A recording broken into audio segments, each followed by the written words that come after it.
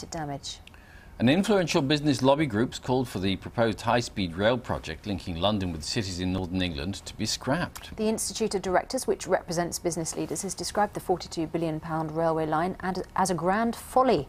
The government says the HS2 project is set to generate huge economic benefits.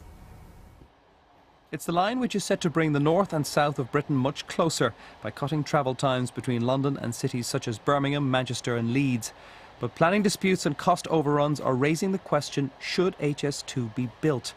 One of the UK's key business groups doesn't think so. Our members are great believers in transport infrastructure spending, but we think HS2 is likely to be a grand folly.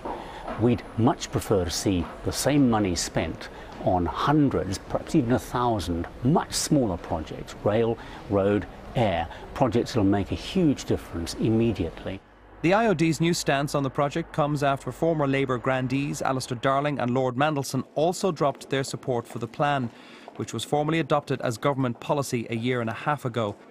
In that time, the resistance to the project has grown in the area along the proposed route, and the estimated cost has soared from 33 to 50 billion pounds, including rolling stock. 800 million pounds has already been spent on preparatory work. The Department for Transport said that HS2 was needed to free up valuable space for passengers and freight, because without it, our existing rail network will be full by the mid 2020s at a cost to passengers and businesses up and down the country. And the government's hired Lord Deighton, seen here with Chancellor George Osborne.